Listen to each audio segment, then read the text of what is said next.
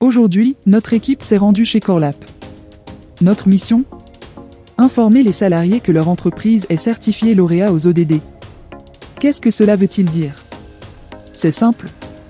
Cela veut dire qu'elle a établi un plan d'action qui a pour but de contribuer aux objectifs de développement durable.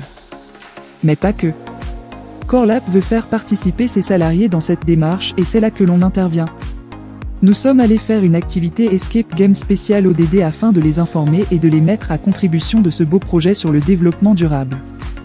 Au programme Des énigmes, des missions et surtout de la cohésion.